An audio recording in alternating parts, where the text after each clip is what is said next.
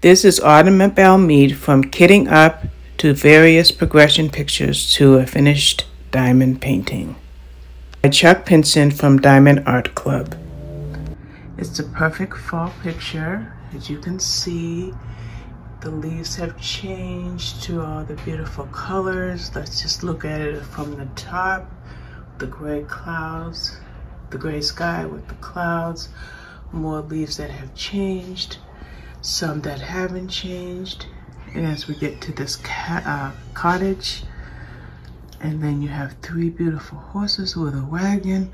And at the bottom, you have all these various flowers, a couple of birds on the ground, purple over there. Oh, I didn't realize that there's another wagon right there. One more full shot. There you go.